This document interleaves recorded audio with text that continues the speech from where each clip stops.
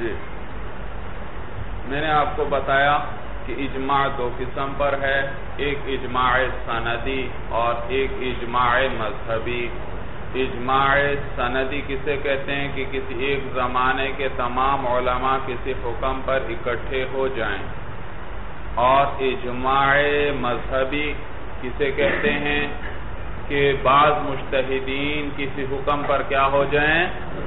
اکٹھے ہو جائیں اجماع کر لیں بھائی۔ ثم بعد ذالک الاجماع على نوعین مرکب وغیر مرکب۔ پھر اس کے بعد اجماع دو قسم پر ہے۔ یہاں سے اجماع مذہبی کی, کی بات شروع کر دی بھئی اجماع سندی بیان کر دیا اس کی چار قسمیں اور ان چاروں قسموں کا حکم بھی بیان کر دیا۔ اب اجماع مذہبی کو بیان کرنے لگے ہیں۔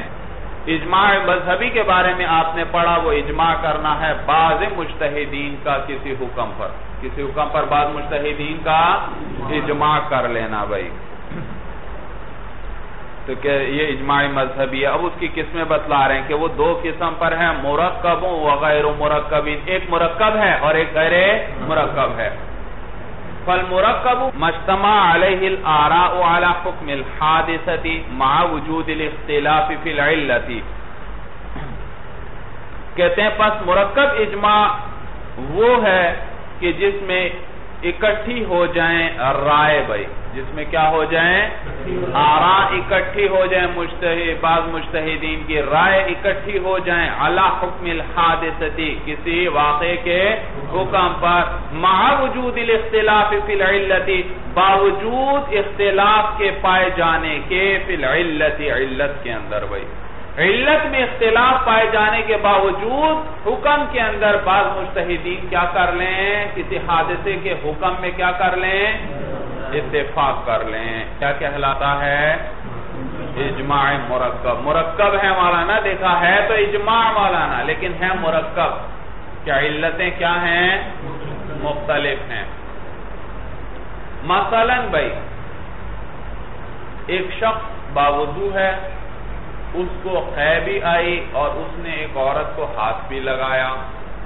اب بالاجماع اس کا وضو ٹوٹ گیا۔ ہمارے نزدیک بھی اس کا وضو ٹوٹ گیا اور امام شافی رحم اللہ کے نزدیک بھی اس کا وضو ٹوٹ لیکن اب حکم میں تو اتفاق ہے مولانا۔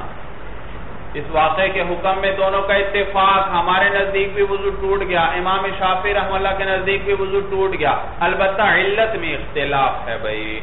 ہمارے نزدیک وضو ٹوٹنے کی علت ہے قے کا آنا۔ قے کی وجہ سے ہمارے نزدیک کیا ہوتا ہے؟ وضو ٹوٹ جاتا ہے۔ مد سے مرآ سے ہمارے نزدیک وضو نہیں ٹوٹتا۔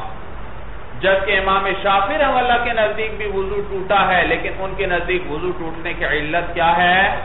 مد سے مرا ہے۔ عورت کو ہاتھ لگانا۔ عورت کو ہاتھ لگانے سے ان کے نزدیک وضو ٹوٹ جاتا البتہ قے سے ان کے نزدیک وضو نہیں ٹوٹتا۔ تو اب اس شخص نے قے بھی کی ہے، عورت کو ہاتھ بھی لگایا ہے، تو اب بال اتفاق اس کا وضو ٹوٹ گیا۔ بال اتفاق اس پر اجماع ہے بھائی، اس حکم کے اندر، وضو کے ٹوٹنے کے اندر دونوں کا اتفاق۔ لیکن علت میں دونوں کا اختلاف ہے۔ ہمارے نزدیک وضو ٹوٹنے کی علت قے کا آنا۔ اور امام شافی رحم اللہ کے نزدیک وضو ٹوٹنے کی علت مد سے مرآ ہے۔ تو یہ اجماع مرکب ہے بھائی۔ کیا ہے اجماع مرکب ہے؟ جس کے اندر حکم میں اتفاق ہوتا ہے اور علتوں میں کیا ہوتا ہے؟ اختلاف ہوتا ہے۔ یہی بات کر رہے ہیں، دیکھیے دوبارہ بھائی۔ فل مرکب بس مرکب، مجتمع علیہ الارا وہ اجماع ہے جس میں کیا ہو جائیں؟ جس میں رائے جمع ہو جائیں علی حکم الحادثتی کسی واقعہ کے حکم پر، مع وجود الاختلاف فی العلتی، باوجود اختلاف پائے جانے کے فی العلتی، کس میں؟ علت میں۔ وَمِثَالُهُ الْإِجْمَعُ عَلَى وُجُودِ الْانْتِقَاضِ عِنْدَ الْقَيْءِ وَمَسِّ الْمَرْأَةِ، اور اس کی مثال اجماع کا ہونا ہے عَلَى وُجُودِ الْانْتِقَاضِ وضو ٹوٹنے کے وضو ٹوٹنے پر بھائی انتقاض کا کیا معنی؟ ٹوٹنا۔ الانتقاض ای انتقاض الوضوئی وضو کا ٹوٹنا بھائی۔ الاسلام عوض ہے کس سے؟ مضاف الیہ سے۔ تو اس کی مثال کیا ہے؟ اجماع کا ہونا کس چیز پر؟ وجود انتقاب پر یعنی وضو کے ٹوٹنے پر، وضو کے ٹوٹنے پر اجماع کا ہونا۔ عند القیع و مس المرأتی قیع اور مس مرا کے وقت، کوئی شخص قیع بھی کرتا ہے با وضو تھا اور قیع بھی کرتا ہے اور مس مرا بھی کرتا ہے۔ اما عندنا ہمارے نزدیک کیا ہے؟ وضو کے ٹوٹنے پر اتفاق تو ہوا، لیکن ہمارے نزدیک اس کی بنا کس پر ہے؟ فَبِنَاءً عَلَى الْقَئِ وضو ٹوٹتا ہے بنا بر قیع کے۔ وَأَمَّا عِنْدَهُ اور امام شافر ہم اللہ کے نزدیک، فَبِنَاءً عَلَى الْمَسِّ بنا بر مس کے یعنی مس مرا کے عورت کو ہاتھ لگانے کی وجہ سے وضو ٹوٹے گا۔ تو یہ کیا کہلاتا ہے مولانا؟ اجماع مرکب کہلاتا ہے۔ مصنف نے اجماع غیر مرکب کو ذکر نہیں کیا۔ اس لیے کہ اجماع مرکب کی تعریف سے اجماع غیر مرکب کی تعریف بھی سمجھ میں آ جاتی ہے۔ بھئی اجماع تو ہے، کسی واقعے کے حکم پر کیا پایا جائے گا؟ اجماع پایا جائے گا بعض مشتہدین کا۔ البتہ مرکب میں جب یہ کہا کہ علتوں میں اختلاف ہے، تو غیر مرکب میں پتا چلا کہ علتوں میں اختلاف نہیں ہوگا۔ علتوں میں اختلاف کسی واقعے کے حکم پر ہمارا بھی مثلا اتفاق ہو جاتا ہے اور شوافی کا بھی امام حنیفہ رحم اللہ کا بھی اتفاق ہو جاتا ہے اور امام شافی رحم اللہ کا بھی اتفاق ہو جاتا ہے اور علت میں بھی اتفاق ہوتا ہے۔ ان کے نزدیک بھی وہی علت ہے۔ ہمارے نزدیک بھی وہی علت ہے۔ وہی علت ہے۔ اس کی مثال مانا اجماع غیر مرکب بھائی جس میں علتوں میں بھی اتفاق ہوتا ہے۔ جیسے امام ابو حنیفہ اور امام شافعی رحمہ اللہ تعالی دونوں کے نزدیک ما خرج من السبیلین سے وضو ٹوٹ جاتا ہے۔ جو بھی چیز احد السبیلین سے خارج ہوگی، بالاتفاق اس کا وضو ٹوٹ جائے گا۔ امام ابو حنیفہ رحم اللہ بھی یہی فرماتے ہیں، امام شافی رحم اللہ بھی یہی فرماتے ہیں۔ تو حکم میں اتفاق آیا۔ اور علت میں بھی اتفاق ہے مولانا ان کے نزدیک بھی علت پروج نجاست ہے۔ امام شافی رحم اللہ کے نزدیک۔ اور امام اعظم ابو حنیفہ رحم اللہ کے نزدیک بھی کیا ہے؟ اس کی علت فروج نجاست ہے۔ تو دیکھو، یہ کیا ہے؟ اجماع غیر مرکب ہے کہ حکم کے اندر بھی اتفاق اور اس کی علت کے اندر بھی اتفاق ہے۔ ثم هذا النوع من الاجماع من الاجماع لا يبقى حجة بعد ظهور الفساد فی المأخذین فی احد المأخذین ہونا چاہیے بھئی مأخذین سے پہلے احد کا لفظ بھئی یہ کتابت کی غلطی سے شاید رہ گیا ہے بھئی پھر اس نوع کا جو اجماع ہے، وہ حجت بن کر باقی نہیں رہتا۔ بعد ظہور الفسادی بعد فساد کے ظاہر ہو جانے کے فی احد المأخذین ماخذ سے مراد علت ہے۔ فی احد المأخذین دونوں علتوں میں سے کسی ایک میں۔ کہتے ہیں دونوں علتوں میں سے کسی ایک علت کا بھی فساد ظاہر ہو گیا تو یہ اجماع حجت نہیں رہے گا۔ یہ اجماع حجت نہیں، یہ اجماع مرکب بھائی حجت نہیں رہے بھائی، کسی بھی شر ہم نے کیا امام اعظم و حنیفہ رحم اللہ نے کیا وضو ٹوٹنے کا حکم کیوں لگایا؟ وہ قہ کی وجہ سے وضو ٹوٹنے کا حکم لگائیں گے۔ اور امام شافی رحم اللہ مس مرآ کی وجہ سے وضو ٹوٹنے کا حکم لگائیں گے۔ لیکن اگر کوئی ایسی شرعی دلیل قائم ہو جائے جس سے ان میں سے کسی ایک کی بھی علت کا فاسد ہونا ظاہر ہو جائے تو پھر یہ اجماع باقی نہیں رہے گا۔ پھر یہ اجماع باقی بھئی اجماع تو اس بات میں کہ وضو ٹوٹ گیا۔ امام ابو اعظم و حنیفہ رحم اللہ کے نزدیک وضو کس سے ٹوٹا ہے؟ قہ سے ٹوٹا ہے۔ اور امام شافی رحم اللہ کے نزدیک مت سے مرآ سے ٹوٹا ہے۔ اب کوئی ایسی شرعی دلیل قائم ہو گئی جس سے یہ ثابت ہو گیا کہ قہ سے وضو نہیں ٹوٹتا۔ اگر ایسی کوئی شرعی دلیل قائم ہو جائے جس سے یہ ثابت ہو جائے کہ قید وضو نہیں ٹوٹتا، تو امام اعظم ابو حنیفہ رحم اللہ وضو ٹوٹنے کا حکم نہیں لگائیں گے، کیونکہ مس مرا سے تو ویسے ہی ان کے نزدیک وضو نہیں ٹوٹتا۔ اور قید سے وضو ٹوٹ رہا تھا، لیکن شرعی دلیل سے کیا ثابت ہو گیا کہ قید وضو؟ تو کیا آپ وہ حکم لگائیں گے کہ شخص کا وضو ٹوٹا ہے؟ وہ اس حکم ہی نہیں لگائیں گے وضو ٹوٹنے کا۔ اور امام شافی رحم اللہ تو وضو ٹوٹنے کا کیا کر رہے ہیں؟ حکم لگا رہے ہیں۔ تو اب حکم میں اتفاق رہا۔ اب تو حکم میں اتفاق رہا ہی نہیں۔ مثلا امام ابو حنیفہ رحم اللہ کی علت کیا ہوئی؟ اس کا فساد ظاہر ہو گیا کسی شرعی دلیل سے۔ انہوں نے تو کہا تھا قیس وضو ٹوٹتا ہے۔ لیکن شرعی کسی شرعی دلیل سے کیا ثابت ہو گیا کہ قیس وضو نہیں ٹوٹتا؟ سمجھ میں آیا بھائی؟ تو پھر وہ وضو ٹوٹنے کا حکم نہیں لگائیں گے۔ اور امام شافر عملہ تو وضو ٹوٹنے کا حکم لگا رہے ہیں۔ تو اب اتفاق رہا۔ ایک امام وضو ٹوٹنے کا حکم لگائے گا، دوسرا وضو ٹوٹنے کا حکم نہیں لگائے گا۔ تو یہ اجماعی باقی نہیں رہے گا۔ جب اجماعی باقی نہیں رہا تو اس کا حجت ہونا حجت، اس کے حجت ہونے کا تو سوال ہی پیدا نہیں ہوتا۔ وہ حجت کہاں سے پھر رہے گا بھائی؟ سورج سمجھ میں آئی بھائی؟ یا اس کا عکس کرو بھائی، مثلا امام ابو حنیفہ رحم اللہ کیا فرمائیں گے کہ قید شخص کا وضو ٹوٹ چکا ہے، اور امام شافی رحم اللہ کیا فرمائیں گے؟ مثلا مرا سے وضو ٹوٹ چکا ہے۔ لیکن اگر کوئی ایسی شرعی دلیل قائم ہو جائے جس سے یہ ثابت ہو جائے کہ مس مرا سے وضو نہیں ٹوٹتا۔ تو کیا امام شافی رحم اللہ مس مرا سے وضو ٹوٹنے کا حکم لگائیں گے؟ نہیں۔ امام صاحب تو قید کی وجہ سے وضو ٹوٹنے کا حکم لگائیں گے، لیکن امام شافی رحم اللہ قید مس مرا کی وجہ سے وضو ٹوٹنے کا حکم ہی کیونکہ ان کے نزدیک تو قید سے وضو ٹوٹتا ہی نہیں، صرف مس مرا سے ٹوٹ رہا تھا۔ اور شرعی دلیل سے ثابت ہو گیا کہ مس مرا سے وضو تو اب وہ اس سے وضو ٹوٹنے کا حکم بھی اس شخص پر نہیں۔ نہیں لگائیں گے، تو اب اجماع ہی باقی نہ رہا۔ امام صاحب، امام اعظم، وہ حنیفہ رحم اللہ وضو ٹوٹنے کا حکم لگائیں گے اور امام شافی رحم اللہ وضو نہ ٹوٹنے کا حکم لگائیں گے۔ تو اجماع ہی باقی نہیں رہے گا۔ جب علت میں، ان کی علت میں فساد ظاہر ہو گیا، تو اجماع باقی جب اجماع باقی نہیں رہا، تو اس کے حجت ہونے کا سوال ہی پیدا نہیں ہوتا۔ سمجھ میں آیا؟ تو کسی بھی امام کے علت میں اگر فساد ظاہر ہو جائے، یہ پتا چل جائے کہ یہ علت صحیح نہیں، تو پھر وہ یہ اجماع جو اجماع مرکب ہے، یہ بھی حجت بن کر باقی نہیں رہے گا۔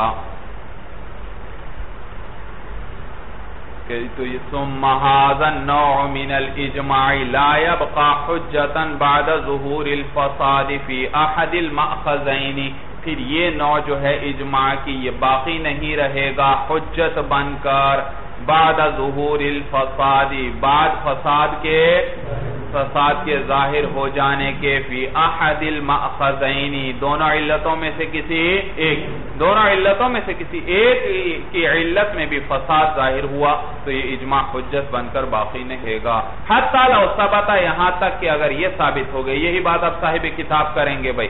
حتی لو ثبت اگر یہ ثابت ہو گیا کہ ان القیع غیر ناقضین، کہ قیع ناقض کسی شرعی دلیل سے یہ ثابت ہو کہ قیع ناقض وضو نہیں، وضو کو توڑنے والی نہیں ہے فابو حنیفہ رحم اللہ لا یقول بالانتقاد فیہی تو امام اعظم ابو حنیفہ رحم اللہ فیہی ای فی القیعی ہاں ضمیر کس کو راجے ہے؟ قیع کو۔ وہ قیع میں وضو ٹوٹنے کا قول نہیں کریں گے۔ لا يقول بالانتقاد فيه اي في القي وہ قے میں وضو ٹوٹنے کا قول نہیں کریں گے. اور اسی طرح ولو ثبت اگر یہ ثابت ہو گیا کہ ان المس غیر ناقض، کہ مس مرا کیا ہے، وہ ناقض للوضو، اس سے وضو نہیں ٹوٹتا. فشافی اور عمل لا يقول بالانتقاد فيه فيه کی حاضمیر کس کو راجے؟ مس کو مس کو. تو اس صورت میں امام شافی رحم اللہ مست مرآ سے وضو ٹوٹنے کا قول نہیں کریں گے۔ امام شافی رحم اللہ مست مرآ سے وضو ٹوٹنے کا قول نہیں کریں گے۔ کیوں؟ لفساد العلت اللتی بنی علیہ الحکم۔ بوجہ فاسد ہونے اس علت کے جس پر حکم کی بنیاد تھی۔ جس حکم پر جس علت پر حکم کی بنیاد تھی، جب وہی فاسد ہو گئی تو حکم بھی امام شاہد صاحب کے نزدیک وضو ٹوٹنے کی بنیادی کس پر تھی؟ اس کی علت ہی کیا تھی؟ قہ پر تو جب قہ ثابت ہو گیا قہ ناقض وضو ہی نہیں، تو پھر اب اس سے وضو ٹوٹنے کا حکم بھی نہیں لگائیں گے۔ اسی طرح امام شافی رحم اللہ بھی حکم نہیں لگائیں گے اگر ان کی علت کا فساد ظاہر ہو جائے۔ جی یہاں تک مسئلہ سمجھ میں آیا بھائی؟ والفساد متوہم یہ کہ اعتراض کا جواب دے رہے ہیں یہاں سے بھائی۔ اعتراض بھائی۔ اعتراض یہ ہوتا ہے کہ یہ اجماع مرکب، یہ اجماع ہی فاسد ہے۔ یہ اجماع ہی کیا ہے؟ فاسد ہے۔ اس کو حجت ہونا ہی نہیں چاہیے، یہ حجت ہو ہی نہیں سکتا کیونکہ اجماع فاسد ہے۔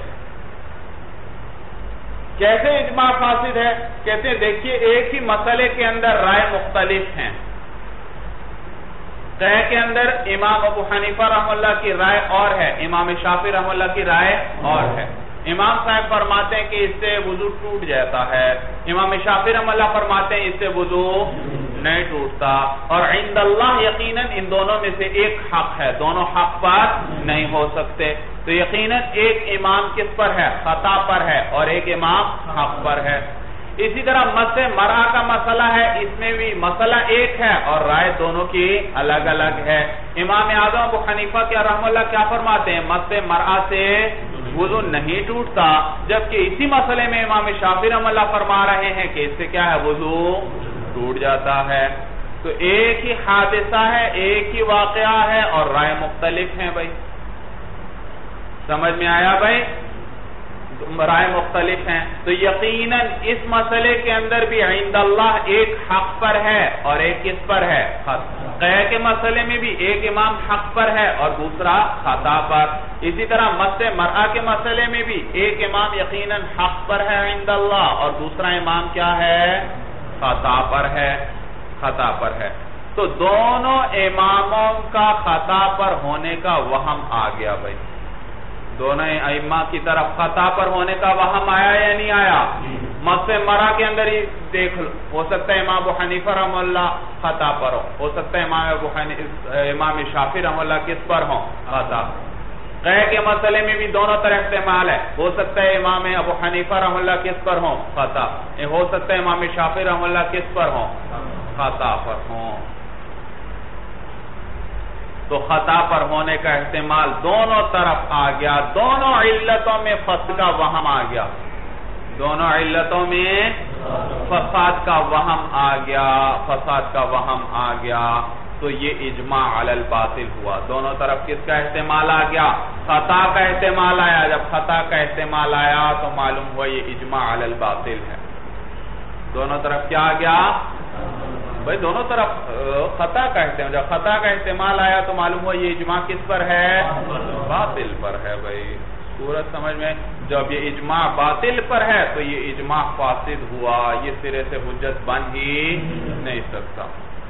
اعتراض کی تقریر سمجھ میں آئی کہ دونوں طرف خطا کا وہم ہے اور جب دونوں طرف خطا کا وہم ہے تو یہ اجماع علی الباطل ہوا اور اجماع علی الباطل جب یہ ہوا تو یہ اجماع فاسد ہے، لہذا یہ حجت بن ہی نہیں سکتا۔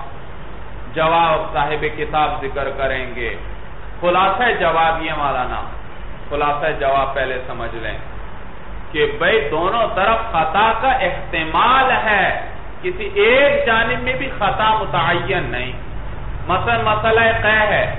ٹھیک ہے اس میں امام شافی رحم اللہ کا بھی خطا پر ہونے کا امکان۔ امام اعظم کو حنیفہ رحم اللہ کا بھی خطا پر ہونے کا امکان استعمال ہے۔ لیکن حق پر ہونے کا بھی تو دونوں کا دونوں طرف استعمال ہے۔ ہو سکتا ہے امام شافی رحم اللہ کس پر ہوں؟ ہو سکتا ہے امام حنیفہ رحم اللہ کس پر ہوں؟ حق پر ہوں۔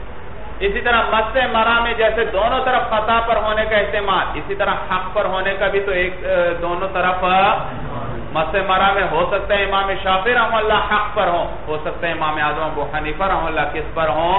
حق پر ہوں۔ تو خطا کا دونوں طرف صرف احتمال ہے، کسی ایک طرف بھی خطا متعین نہیں ہے۔ متعین ہے کون سا امام خطا پر ہے؟ کس مسئلے میں؟ یہ متعین نہیں، یہ تو صرف اللہ تعالی جانتے ہیں۔ سمجھ میں آیا بھائی؟ یہ صرف اللہ جانتے ہیں۔ تو خطا کا دونوں طرف وہم آیا کسی ایک جانب بھی خطا تعین نہ ہوئی۔ اور صرف وہم، خطا کا وہم آنے سے اجماع کی صحیح ہونے پر کوئی اثر نہیں پڑتا۔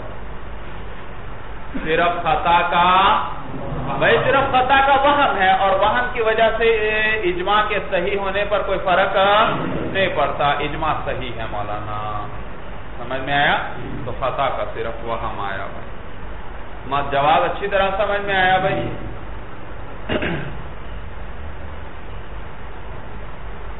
تو لہذا خطا کا صرف وہم ہے۔ جب خطا کا صرف وہم ہوا، تو یہ اس بات کی طرف لے جانے والا نہیں ہے، اس بات تک پہنچانے والا نہیں ہے کہ یہ اجماع علی الباطل ہے۔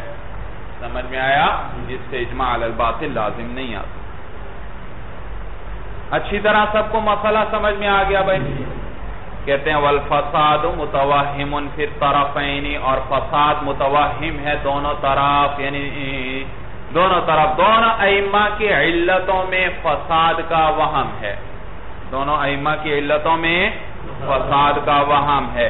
لِجَوَازِ أَن يَكُونَ أَبُو حَنِيفَةَ رحم اللہ مصیبا فی مسئلت المس مخطئا فی مسئلت القیئی اس لیے کہ جائز ہے، ممکن ہے کہ امام ابو حنیفہ رحم اللہ مصیب ہو مسئلہ مس میں، مصیب یعنی درستگی پر ہوں، حق کو پہنچنے والے ہوں۔ مسئلہ مس میں مسئلہ مس مرا کے بارے میں ابو حنیفہ رحم اللہ نے کیا فرمایا تھا؟ اس سے وضو نہیں ٹوٹتا۔ تو احتمال ہے کہ اس مسئلے میں امام ابو حنیفہ رحم اللہ کیا ہو حق پر ہوں۔ اور مفتی انفی مسئلت القیم، اور مسئلہ قیم کس پر ہوں؟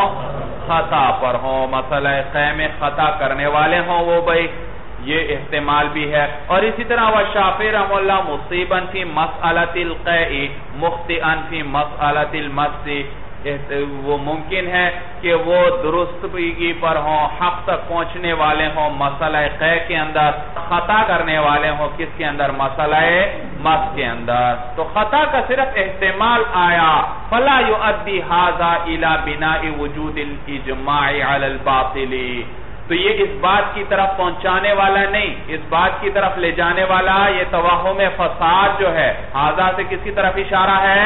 توہم فساد کی طرف یہ فساد کا وہم لے جانے والا نہیں ہے۔ الہ، اس بات کی طرف۔ اس بات کی طرف بنا وجود الاجماع علی الباطل، کہ اس اجماع کی بنا کس پر ہے؟ اس وجود اجماع کی بنا کس پر ہے؟ باطل پر ہے۔ اس طرف پہنچانے والا نہیں ہے۔ صرف وہم ہے۔ متعین تو کسی ایک جانب میں بھی خطا نہیں ہے۔ جی۔ بخلاف ما تقدم من الاجماع، بخلاف اس کے جو مقدم گزرا ہے اجماع میں سے۔ بخلاف اس کے جو مقدم گزرا ہے من الاجماع یعنی اجماع۔ یعنی جو وہ اجماع کی وہ قسم جو پہلے گزری بخلاف اس کے، بھائی۔ صورت سمجھ میں آئی بھائی؟ بھئی اس عبارت کا تعلق یہ ما قبل فلا یؤدی حاضا الى بناء وجود الاجماع علی الباطل۔ اس کے ساتھ نہیں ہے۔ اس کے ساتھ جوڑو گے تو بھئی معاملہ بالکل عبارت بگڑ جائے گی، معنی بالکل خراب ہو جائے گا۔ اس دیکھو کیسے اس سے ہم جوڑ کر ذرا دیکھتے ہیں۔ کہتے ہیں فلا یؤدی، دوبارہ دیکھو۔ پس نہیں ہے۔ فلا یؤدی حاضا یہ توہم فساد پہنچانے والا نہیں ہے الہ بنا وجود اجماع علی الباطل۔ اس بات کی طرف کہ وجود، اس وجود اجماع کی بنا کس پر ہے؟ اس تک پہنچانے والا نہیں ہے یہ۔ بخلاف ما تقدم، بخلاف اس کے جو پہلے گزرا من الاجماع وہ اجماع جو پہلے گزرا، وہ کہاں تک پہنچانے والا ہے؟ کہ وجود اجماع کی بنا کس پر ہے؟ یہ والا اجماع تو باتیں پہنچانے والا نہیں، لیکن وہ جو پہلے گزرا تھا وہ کہاں تک پہنچانے والا ہے؟ دیکھو معنی خراب ہوا یا نہیں ہوا؟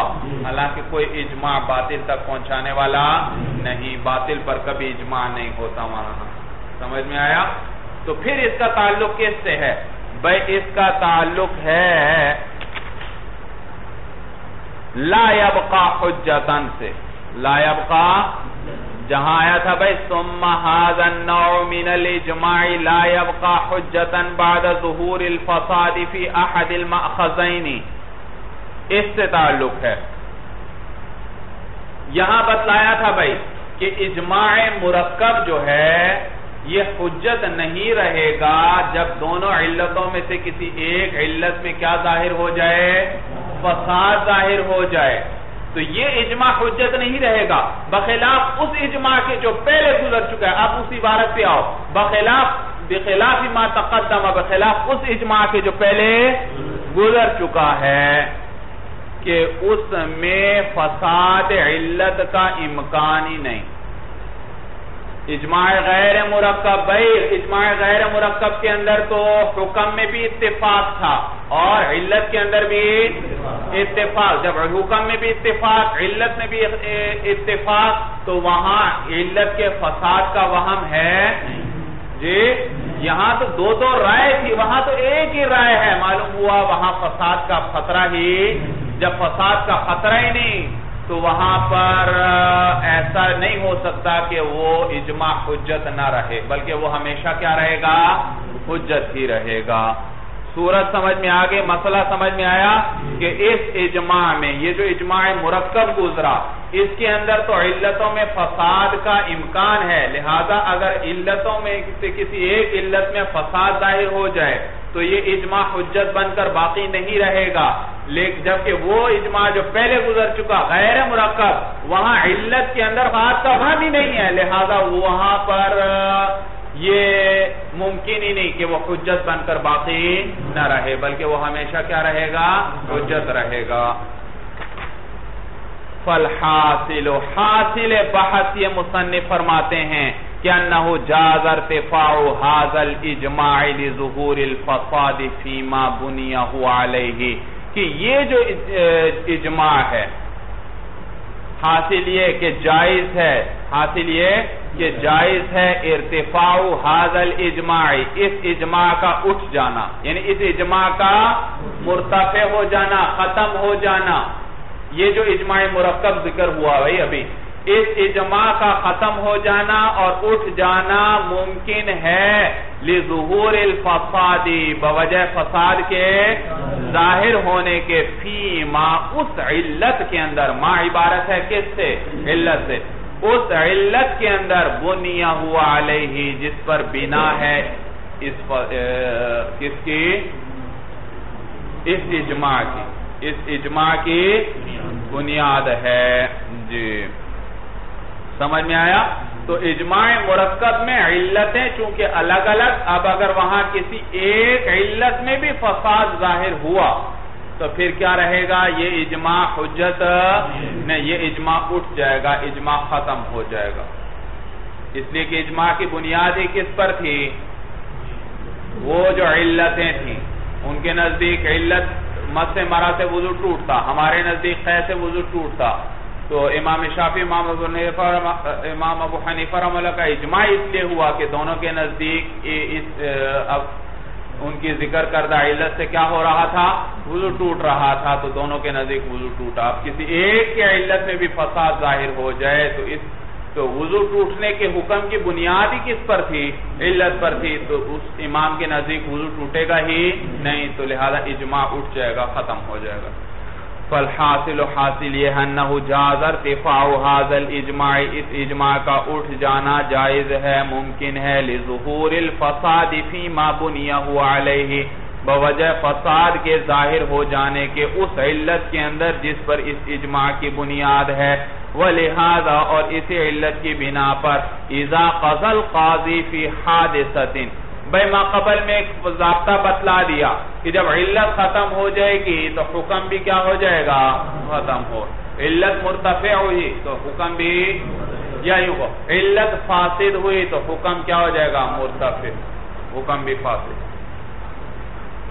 سمجھ میں آیا؟ تو علت کے ختم ہونے سے حکم ختم ہو جائے گا۔ چنانچہ مولانا، ایک قاضی ہے، اس نے کسی مسئلے کے زید اور عمر کے درمیان جھگڑا ہوا۔ زید نے عمر پر دعویٰ کیا، اس نے میرا ایک لاکھ روپیہ دینا ہے۔ جی مسئلہ قاضی تک پہنچا، عمر انکار کر رہا ہے۔ زید نے دو گواہ پیش کر دیے بھائی۔ ان دونوں گواہوں نے گواہی دے دی کہ اس عمر نے ہمارے سامنے زید سے ایک لاکھ روپیہ مثلا قرض لیا تھا۔ اس نے قرض لیا تھا۔ کیا کیا تھا؟ انہوں نے گواہی دے دی۔ جب گواہی دے دی تو قاضی فوراً کیا فیصلہ کر دے گا؟ عمر پر ایک لاکھ روپیہ لازم کر دے گا کہ یہ کس کو ادا کرو؟ زید کو ادا کرو۔ چنانچہ عمر کو اب ایک لاکھ روپیہ عمر نے ادا کر دیے۔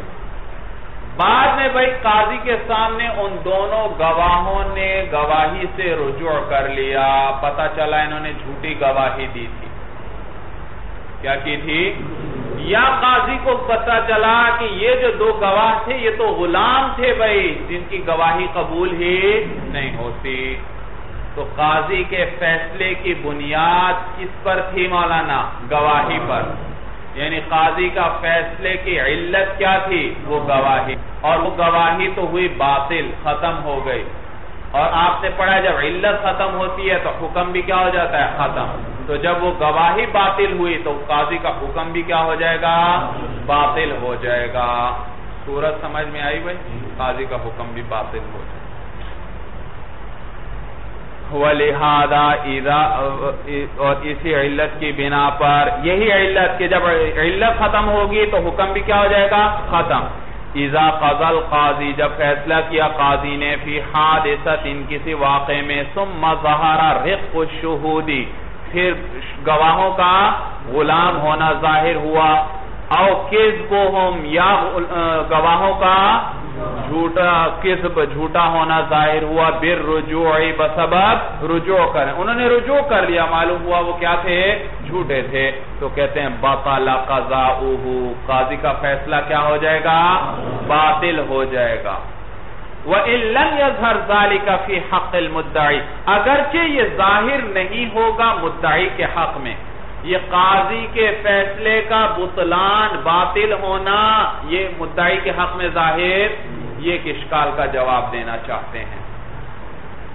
اشکال یہ ہوتا ہے کہ ابھی آپ نے ہمیں بتایا کہ جب علت ختم ہوگی تو حکم بھی کیا ہو جائے گا؟ ختم ہو جائے گا۔ لہذا جب پتا چل گیا کہ گواہی باطل ہے تو قاضی کا فیصلہ بھی کیا ہو جائے گا؟ باطل۔ جب قاضی کا فیصلہ باطل ہوا تو قضاب المال کے معاملے میں قضابل مال کے معاملے میں جو زید کو ہم نے ایک لاکھ روپیہ عمر سے لے کر دلوایا تھا، عمر سے لے کر اسے دیا تھا، وہ کیا کرنا چاہیے؟ زید سے واپس لے کر کیا کرنا چاہیے؟ عمر کو۔ ہاں زید سے لے کر عمر کو واپس کرنا چاہیے۔ لیکن فقہاء کرام کیا لکھتے ہیں کہ زید سے پیسے واپس نہیں لیے جائیں گے وہ زید کے ہو چکے گئے اشکال سمجھ میں آیا بھائی؟ آپ نے تو کہا قاضی کا فیصلہ باطل ہو جائے گا تو جب قاضی کا فیصلہ باطل ہوا تو زید سے بھی کیا کرنے چاہیے؟ وہ ایک لاکھ روپیہ جو قاضی کے فیصلے کی وجہ سے اسے ملا ہے اب وہ اسے واپس لے کر کس کو دینے چاہیے؟ عامر کو۔ واپس دے دینے چاہیے۔ لیکن فقہ کرام کیا لکھتے ہیں؟ کہ زید سے پیسے واپس نہیں لیے جائیں گے۔ کہتے ہیں، بھائی وہ قاضی کا فیصلہ باطل ہوا ہے، لیکن اس کا بطلان مدعی کے حق میں نہیں ظاہر ہوگا۔ مدعی کے حق میں وہ فیصلہ نہیں باطل ہوا، صرف کس کے حق میں باطل ہوا ہے؟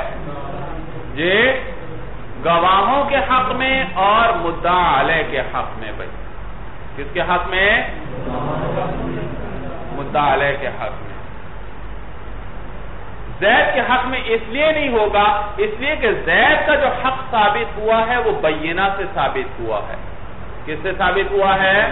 بھائی زید کے جو ہم نے ایک قاضی نے فیصلہ کروا کے کتنے پیسے دلوائے؟ ایک لاکھ روپے عمر سے دلوائے۔ یہ کس کے ذریعے ثابت ہوا تھا؟ دو گواہوں کے ذریعے۔ اور دو گواہ کیا ہیں؟ شرعن حجت ہیں۔ شریعت نے کیا قرار دیا ہے ان کو؟ حجت قرار دیا ہے۔ سمجھ میں آیا بھائی؟ تو یہ یہاں پر والا حق مدعی ثابت ہوا ہے حجت شرعیہ سے۔ حق مدعی کس کے ذریعے ثابت ہوا ہے؟ حجت شرعیہ سے۔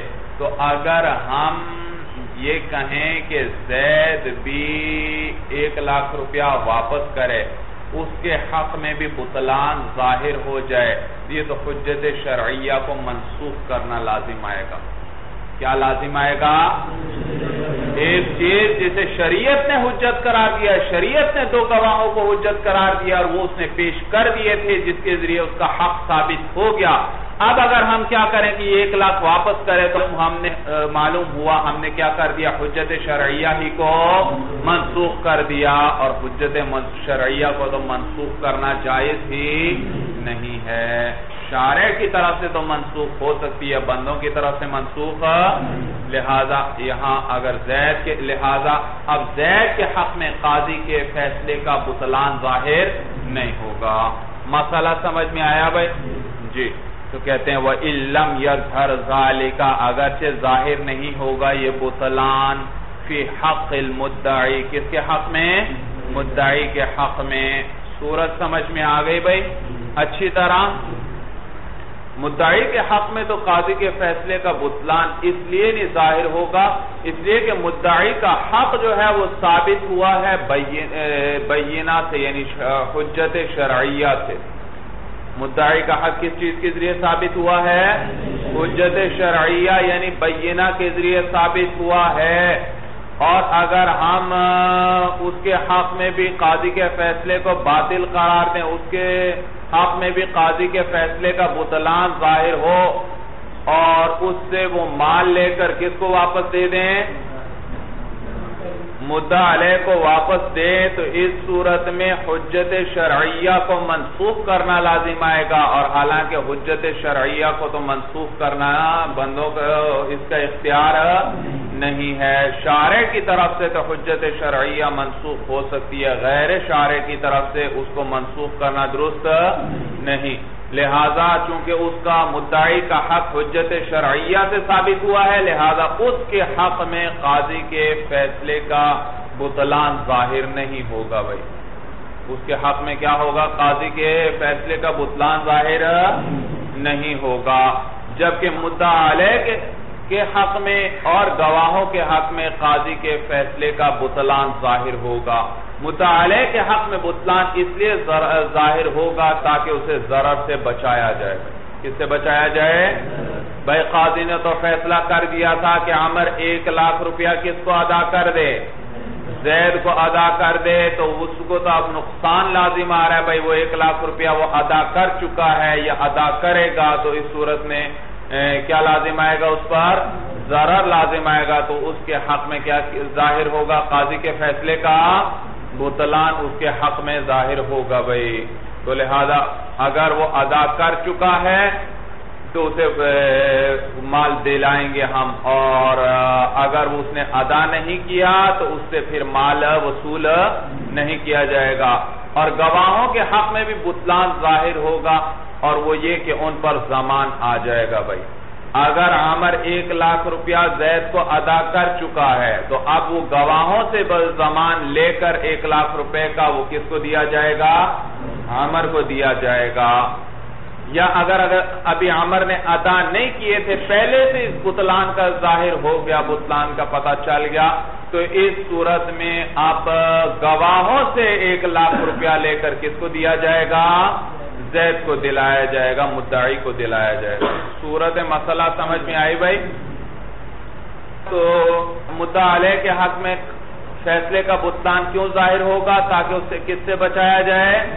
اسے ضرر اور نقصان سے بچایا جائے بھائی۔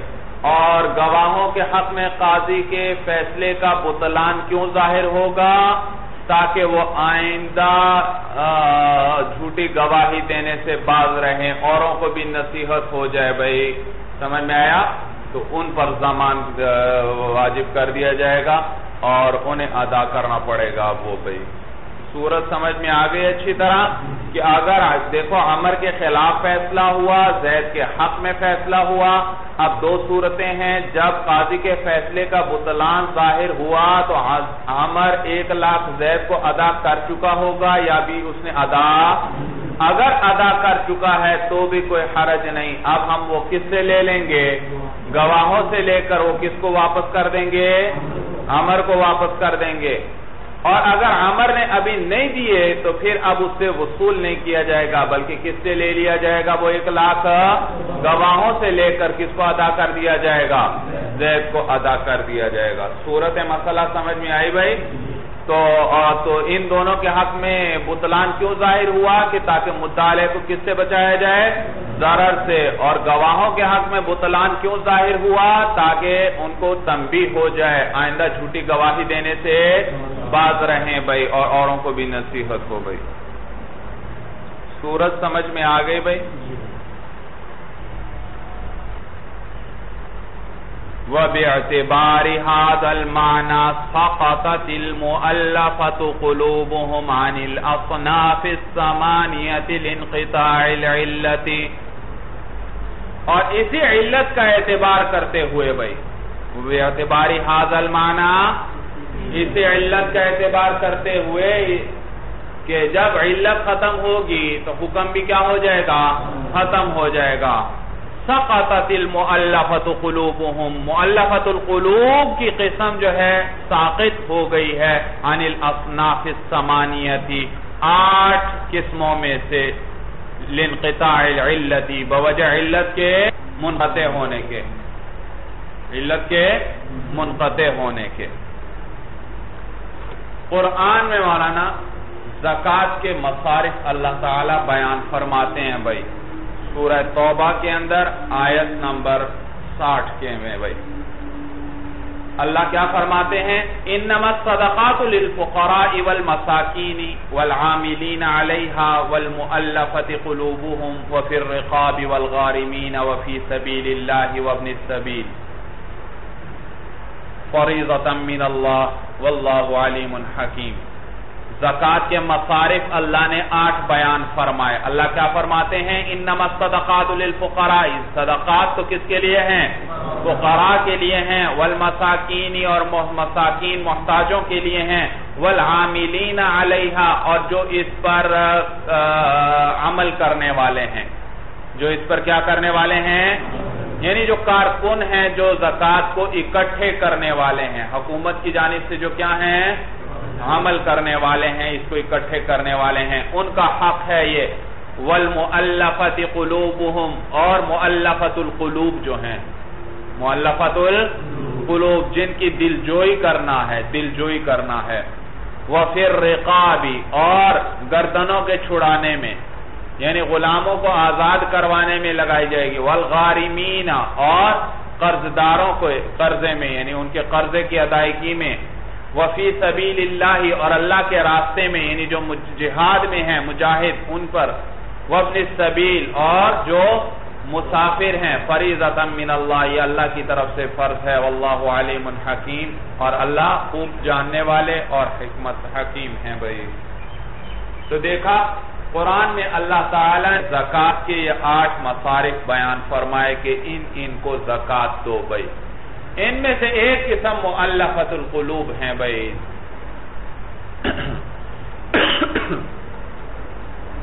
مؤلفت القلوب جن کی تعلیف قلب کے لیے بھائی ان کو زکاة دی جاتی تھی۔ بھائی، حضور صلی اللہ علیہ وسلم کے اپنے زمانے میں ان کو دیتے تھے بھائی پھر۔ یہ کون لوگ تھے؟ بھائی، یہ کچھ تو کفار ہی تھے۔ کفار ہی تھے، سردار وغیرہ کفار کے ہوتے، تو ان کو کیا کیا کرتے؟ زکاة میں سے کچھ زکاة کا مال اکٹھا ہوتا، اس کا کچھ حصہ ان کو دیا جاتا تھا، تاکہ یہ لوگ مسلمانوں کی طرف، اسلام کی طرف مائل ہو جائیں۔ کیا ہو جائیں؟ اسلام کی طرف مائل ہو جائیں، ان کے دلوں کو اسلام کی طرف مائل کرنے کے لیے اور ان کو اسلام کی طرف رغبت دلانے کے لیے زکاة میں کے مال میں سے کچھ حصہ ان کو دیا جاتا تھا۔ نیز اس لیے بھی تاکہ ان کے شر سے حفاظت ہو، یہ مسلمانوں کے لیے کسی تکلیف کا باعث نہ بنے۔ ان کو مؤلفت القلوب کہتے تھے، ان کو تعلیف قلب کے لیے دیا جاتا تھا۔ سمجھ میں آیا بھائی؟ کس لیے دلجوئی کرنے کے لیے، ان کی دلجوئی کرنے کے لیے۔ اسی طرح بعض نئے مسلمان ہوتے تو ان کو بھی تعلیف قلب کے لیے حضور صلی اللہ علیہ وسلم یہ دیتے بھائی۔ یہ بھی مؤلفت القلوب میں داخل تھے بھائی۔ بھائی نئے نئے اسلام میں داخل ہوئے ہیں تاکہ اور اسلام کی طرف راغب ہو، پکے ہو جائیں جم جائیں بھائی اسلام پر بھائی۔ سمجھ میں آیا؟ جہالت کا زمانہ تھا تو اسلام آہستہ آہستہ پھیلتا جا رہا تھا۔ تو زکاة کے مصارف میں یہ ایک مصرف بھی بیان کیا اللہ تعالی نے بھائی۔ پھر بعد میں حضور تو یہ مصرف چلتا رہا، ان کو تعلیف قلب کے لیے ان کو دیا جاتا تھا بھائی۔ کفار سردار وغیرہ بھی ہوتے تھے، یا جو نئے مسلط ہوتے تھے، ان کو بھی دیا جاتا تھا۔ تو یہاں تک کہ حضرت صدیق اکبر رضی اللہ تعالیٰ عنہ کا زمان آیا بھائی۔ تو ایک مرتبہ اسی طرح دو سردار آئے بھائی، بڑے سردار تھے، ایک کا نام اقراع تھا، ایک کا نام عیینہ۔ یہ حضرت صدیق اکبر رضی اللہ تعالیٰ عنہ کے پاس آئے اور یہ معلقت القلوب میں سے تھے بھائی، حضور ان کو دیا جاتا تھا مال۔ اور آ کر کو ایک بڑی جاگیر مانگی بھائی، کوئی خاص جگہ تھی کہ وہ جگہ ہمیں دے دیں، بڑی جاگیر تھی بھائی۔ صدیق اکبر رضی اللہ تعالیٰ عنہ نے لکھ کر دے دیا مولانا کہ ہاں ٹھیک ہے، وہ جاگیر کیا ہے؟ تمہاری ہو گئی۔ باقاعدہ لکھ کر دے دیا۔ رسید بھی حوالے کر دی مولانا خلیفت المسلمین نے بھائی تو پھر انہوں نے صدیق سے تو لے لیا، لکھا ہوا۔ سوچا کہ چلو حضرت عمر کے پاس بھی چلتے ہیں۔ حضرت عمر رضی اللہ تعالیٰ عنہ ان سے بھی لکھوا لیں۔ وہ ذرا وہ بھی بڑے معتبر آدمی ہیں بھائی۔ تو ان کی جب وہ بھی کر دیں گے تو بات بڑی پکی ہو جائے گی بھائی۔ چنانچہ حضرت عمر رضی اللہ تعالیٰ عنہ کے پاس گئے بھائی۔ حضرت عمر کو بتلایا کہ ہم فلاں جاگیر ہم نے مانگی تھی۔ حضرت صدیق نے ہمیں، حضرت صدیق نے ہمیں کیا کر دیا ہے؟ دے دی ہے۔ اب ہم آپ کے پاس بھی آئے ہیں کہ آپ بھی کیا کر دیں۔ جی ہمیں دے دیں۔ لکھ کر عمر نے فرمایا اچھا بھائی، لاؤ بھائی، کدھر ہے؟ دکھاؤ ذرا، کہاں لکھ کر دیا ہے؟ انہوں نے پکڑایا بھائی، وہ لکھا ہوا تھا۔ حضرت عمر رضی اللہ روایات میں آتا ہے تھوک تھوک کرتے ہوئے حضرت عمر نے اس کے اوپر تھوک دیا اور اس کو آپس میں مل دیا کاغذ کو۔ وہ لکھائی ساری خراب کر دی۔ بعد میں آتا ہے، پھاڑ دیا بھائی اس کو۔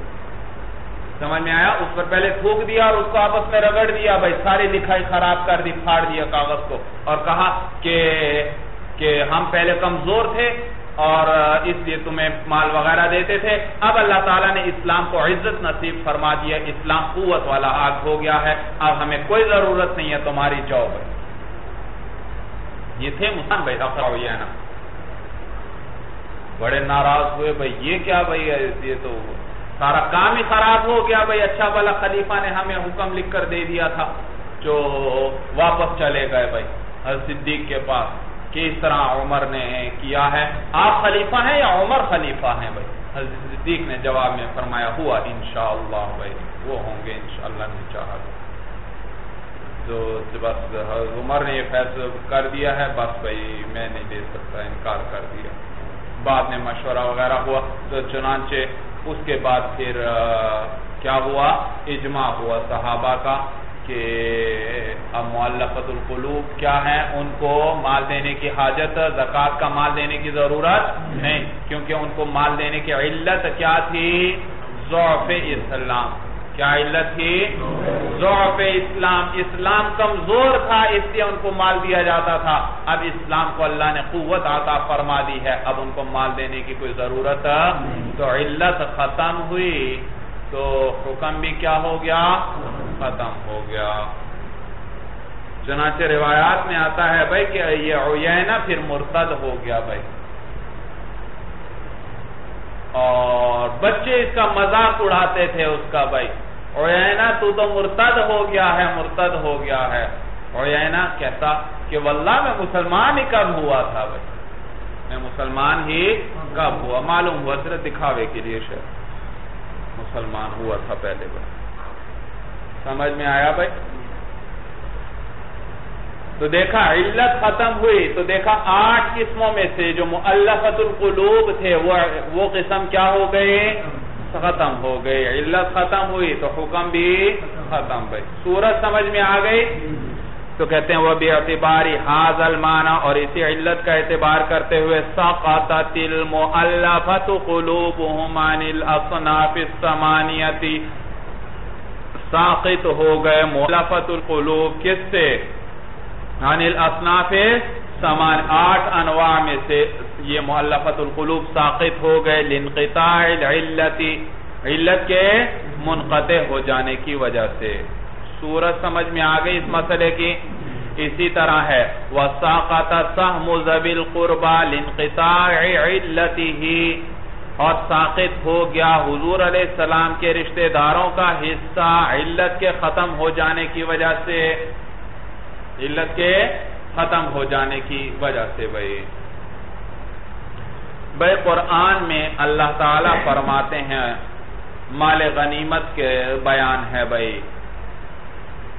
کہتے ہیں، کیا قرآن میں اللہ فرماتے ہیں؟ وَعْلَمُوا أَنَّمَا غَنِمْتُم مِّن شَيْءٍ فَأَنَّ لِلَّهِ خُمُسَهُ وَلِلرَّسُولِ وَلِذِي الْقُرْبَى وَالْيَتَامَى وَالْمَسَاكِينِ وَابْنِ السَّبِيلِ اور جان لو انما غنیمتم من شئین کہ جو چیز بھی تمہیں بطور غنیمت کے حاصل ہو، فَأَنَّ لِلَّهِ خُمُسَهُ، تو یقیناً اللہ کے لیے ہے اس کا پانچواں حصہ، وَلِلرَّسُولِ اور اللہ کے رسول کے لیے ہے وَلِذِ الْقُرْبَى اور حضور علیہ السلام کے رشتہ داروں کے لیے ہے وَالْيَتَامَ، اور یتیموں کے لیے ہے وَالْمَسَاكِينِ اور مسکینوں کے لیے ہے، وَابْنِ السَّبِيلِ، اور مسافروں کے لیے ہے۔ سمجھ میں آیا بھائی؟ تو یہاں پر دیکھو، مال غنیمت جو حاصل ہوا، جو جہاد کے اندر جتنا مال حاصل ہو، اس کا پانچواں حصہ الگ کر کے نکال لیا جاتا ہے۔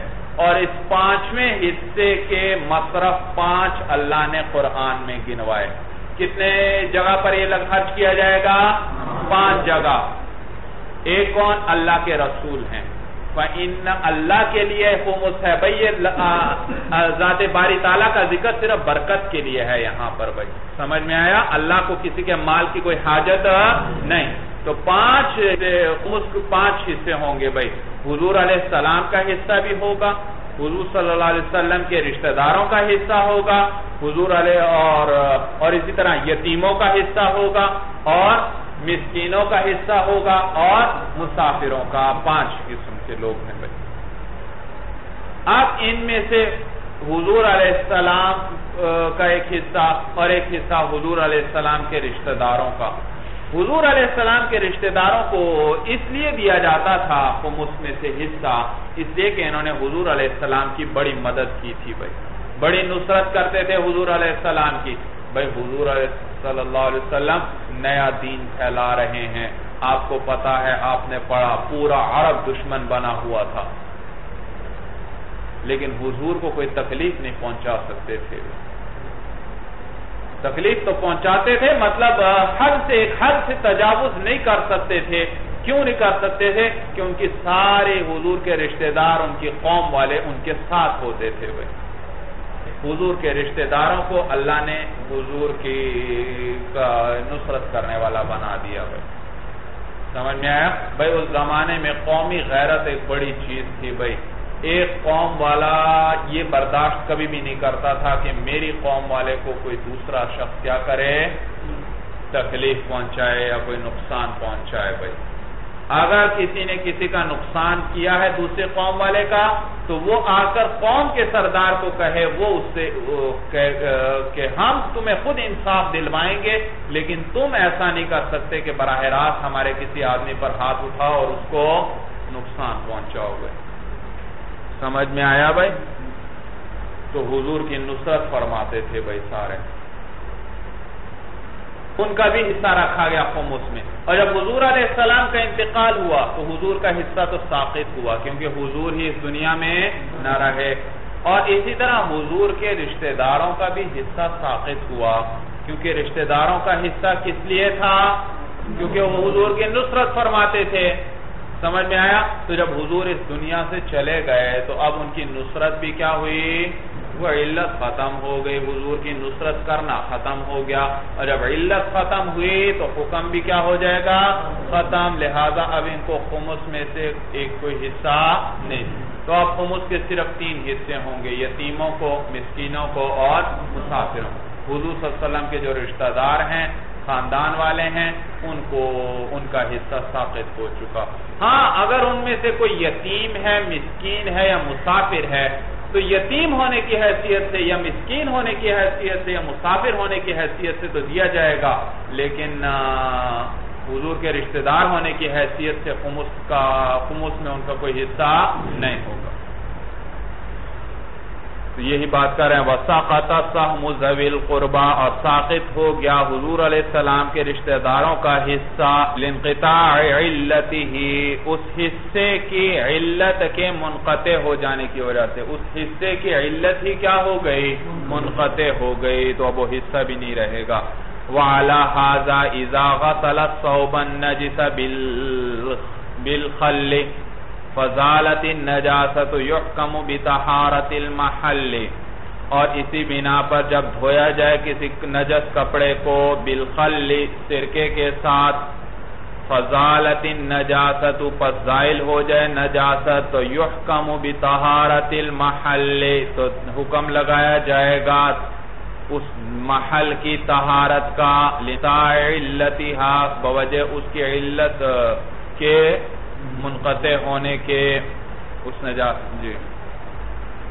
بھائی دیکھو، صورت مسئلہ یہ ایک کپڑا ہے، وہ نجس ہوا، اس پر کوئی نجاست لگی ہوئی ہے۔ دیکھو، ایک کپڑا ہے، اس پر کیا لگی ہوئی ہے؟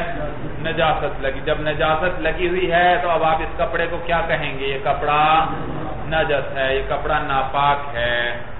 اب آپ نے سرکے کے ساتھ اس کپڑے سے نجاست کو دھو دیا، دور کر دیا۔ جب سرکے کے ساتھ دھویا تو وہ نجاست چلی گئی کپڑے سے۔ جب وہ نجاست چلی گئی تو اب آپ اس کپڑے پر کیا حکم لگائیں گے کہ یہ کپڑا کیا ہو گیا؟ پاک ہو گیا۔ کیوں؟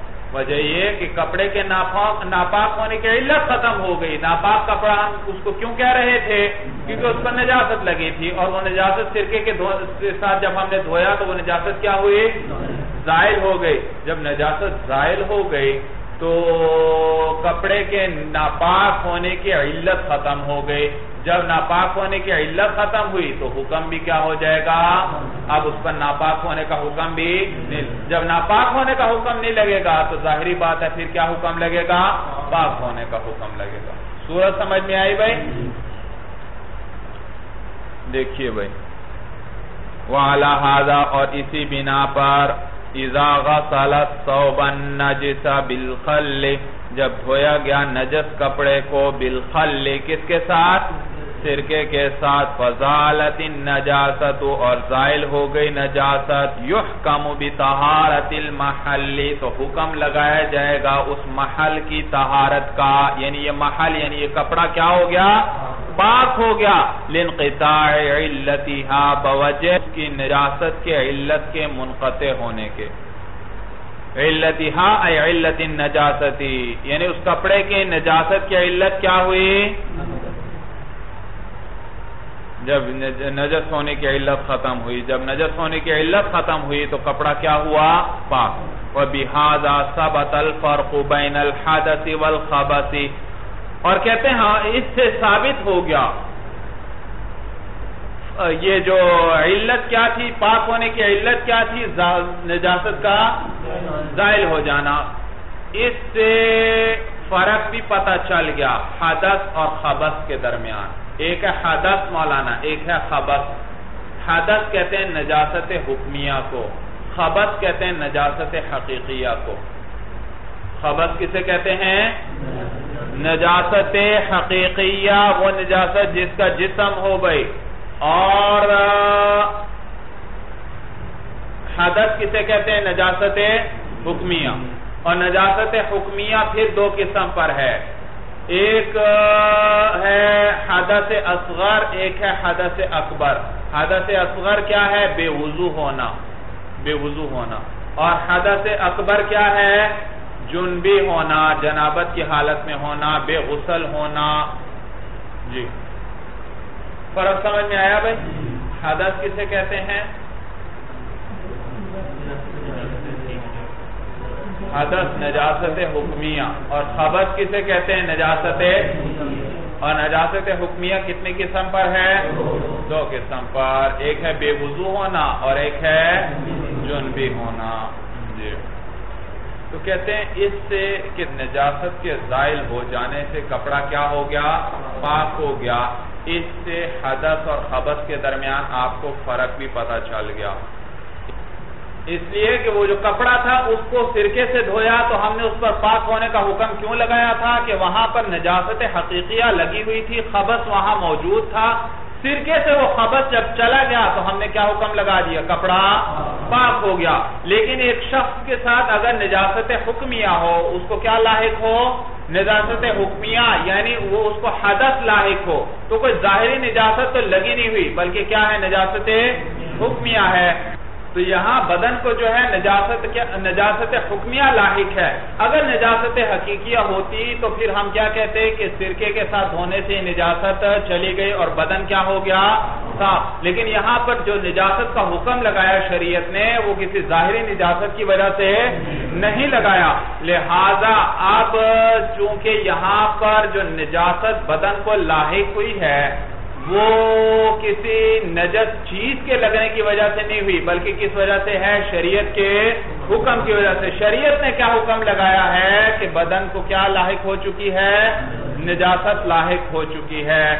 تو یہاں چونکہ بدن نجس ہوا ہے، کسی ظاہری نجازت کی وجہ سے نہیں، بلکہ کس وجہ سے؟ شریعت کے حکم کی وجہ سے بدن پر نجس ہونے کا ہم نے حکم لگایا ہے۔ لہٰذا اب یہ پاک صرف متحر سے ہوگا۔ وہ چیز جسے شریعت نے پاک کرنے والا بنایا ہے، ہر پاک چیز کے ساتھ یہ پاک آپ سرکے سے وضو کر لیں تو ہم یہ نہیں کہیں گے آپ کا وضو ہو گیا اور بدن پاک ہو گیا۔ اس لیے کہ سرکہ متحر نہیں، کوئی بھی پاک چیز ہو جس کے ذریعے نجاست زائل کی جا سکتی ہو۔ نجاست زائل کی جا سکتی ہو، وہ متحر نہیں ہے، بلکہ متحر شریعت نے صرف پانی کو قرار دیا ہے۔ تو وہاں کپڑے کے اندر چونکہ اس پر نجاست ظاہری لگی ہوئی تھی اور وہاں اس پر پاک ہونے کا حکم تب لگے گا جب وہاں سے کیا چلی جائے؟ نجاست حقیقیہ چلی جائے۔ اور جب سرکے سے دھویا، اب سرکہ متحر نہیں۔ پیٹرول وغیرہ مثلا اور کوئی چیز پاک ہے، وہ متحر نہیں۔ تو اس سے آپ نے کپڑے کو دھویا، تو اس کا سرکے نے نہیں کپڑے کو پایا اس پیٹرول نے نہیں کپڑے کو پاک کیا، اس نے صرف اتنا کام کیا کہ وہاں سے نجاست کو ختم کر دیا، بس۔ اور جب نجاست ختم ہوئی تو کپڑے سے نجس ہونے کا حکم بھی خود بخود کیا ہو جائے گا؟ ختم ہو جائے گا۔ جبکہ یہاں پر ہمارے بدن کو جو نجاست لاحق ہوئی ہے، وہ کوئی ظاہری نجاست نہیں ہے۔ کہ جو کسی کسی پاک چیز سے کیا ہو جائے، ختم ہو جائے۔ بلکہ یہاں پر جو بدن کے پر نجس ہونے کا حکم ہے، وہ کس وجہ سے آیا ہے؟ شریعت کی وجہ سے شریعت نے یہ حکم لگایا کہ اس وقت آپ کا بدن کیا ہو چکا؟ نجس ہو چکا۔ لہذا اب بدن پاک بھی اسی چیز سے ہوگا جس کو شریعت نے متحر قرار دیا ہے۔ اور شریعت نے متحر صرف کس کو قرار دیا ہے؟ پانی کو قرار دیا ہے۔ لہذا اب پانی سے وضو کرے گا تو وہ نجاست حکمیہ جائے گی۔ اگر کسی اور چیز سے وضو کرے گا تو نجاست حکمیہ نہیں جائے گی۔ اس لیے کہ یہاں پر جو نجاست حکمیہ ہے جو نجاست کا حکم لگا لگایا گیا ہے۔ وہ کسی نجاست کی لگنے کی وجہ سے نہیں ہے، بلکہ شریعت کے حکم کی لہذا یہاں یہ نجاست حکمیہ دور بھی اسی چیز سے ہوگی جس کو شریعت نے متحر قرار دیا ہو۔ کسی اور چیز سے یہ نجاست دور نہیں ہوگی۔ تو اور اس سے فرق بھی ثابت ہو گیا۔ حدث یعنی نجاست حکمیہ والخبس و نجاست حقیقیہ کے درمیان، فَإِنَّ الْخَلَّ يُزِيلُ النَّجَاسَةَ عَنِ الْمَحَلِّ۔ اس لیے کہ سرکہ وہ تو دور کر دیتا ہے نجاست کو محل سے، اس جگہ سے، اس کپڑے سے۔ فَأَمَّ الْخَلُّ، باقی جو سرکہ ہے لا يفید طہارت المحلی وہ تو محل کی طہارت کا فائدہ ہاں محل کی طہارت کا فائدہ نہیں دیتا، صرف اس نجازت کو دور کر دیتا ہے اس جگہ سے۔ وَإِنَّمَا يُفِيدُهَا الْمُطَحِرُ اور باقی محل کی طہارت کا فائدہ تو صرف کون دیتا ہے؟ متحر دیتا ہے اور وہ الماء، اور وہ پانی ہی ہے، اور کوئی چیز نہیں ہے۔ لہذا پانی سے وضو کرو گے تو وہ یا پانی سے غسل کرو گے تو وہ نجاست حکمیہ جائے گی۔ اور کسی چیز سے نہیں جائے گی۔ چلیے مولانا المرام اللہ عالم الکلام۔